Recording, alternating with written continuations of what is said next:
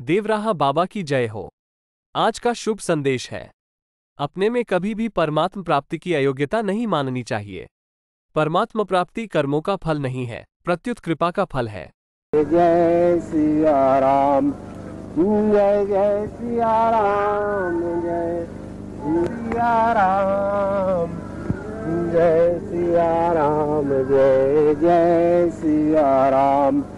Jai Jai Siya Ram Jai Siya Ram Jai Siya Ram Jai Jai Siya Ram Jai Jai Siya Ram Jai Siya Ram Jai Siya Ram Jai Jai Siya Ram Jai Jai Siya Ram Jai Siya Ram